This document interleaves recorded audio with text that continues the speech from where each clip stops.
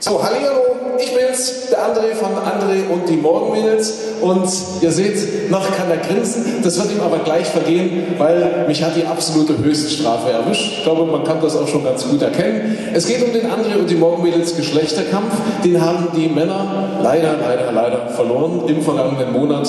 Und der Wetteinsatz war mitzutanzen als Funkenmariechen in einer Funken. Dann, wenn wir jetzt losgehen, vielleicht nochmal für die Kamera eine Nahaufnahme. Guckt euch das mal an. Ich habe mir extra die Beine rasiert. Das ist noch nie vorgekommen in meinem Leben.